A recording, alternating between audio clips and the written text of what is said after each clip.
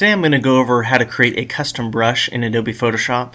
If you want to go ahead and open up a photo that you'd like to be able to convert into a brush, go ahead and open up that up and go ahead and click on the marquee selection tool, the top of the toolbar, and click and drag around the photo here. And it helps you if you have a photo that has just a plain background like that and then some pixels here. And then go ahead and go to Edit, Define Brush Preset.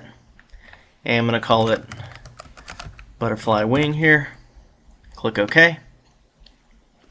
Now I'm going to go to File New. And I'm just going to open a large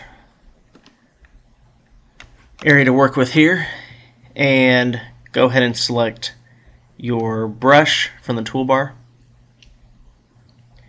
and what you want to do is click up on the top and you'll see it was added right here in your default uh, brush styles there. Alright. So if I just click there it just creates the same exact image but of course in that one hue that whatever is our uh, foreground color it's going to set it as. Alright. So go ahead and press the left bracket on the keyboard or come up here and just change the size right there to make it a little bit smaller.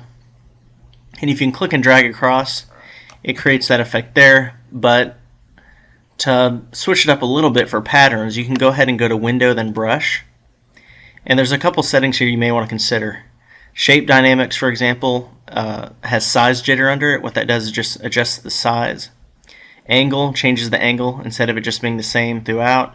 Instead of it being static, you can make it more dynamic as it changes. And roundness as well. Um, scattering, and it previews it down here. If you just have it at zero, it's not going to really scatter. If you bring it over to the right hand side a little bit, it increases that uh, level of scatter. And if you go to color dynamics, you can also uh, either delineate or actually uh, use the foreground and background color uh, or you can just do the hue jitter and it will if you went all the way to 100% or it would go through all these different hues. But if you go just say 20% uh, or 15% it'll just vary a little bit. Alright? So you can close that out and click and drag and you'll see it creates this nice pattern here. Alright? You can click new layer change the foreground color.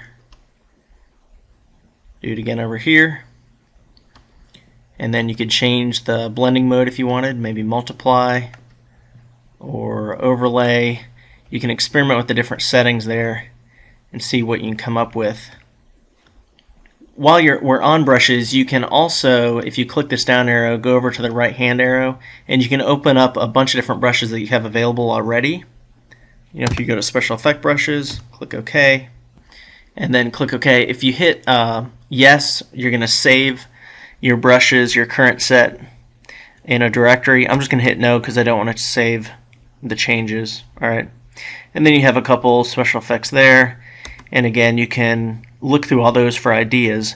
But any photo that you have that's pretty simple, like a butterfly wing or some kind of shape uh, that you want to convert into a brush like that, uh, now you know how to do that. You just select it and then define it as a brush preset. Thank you.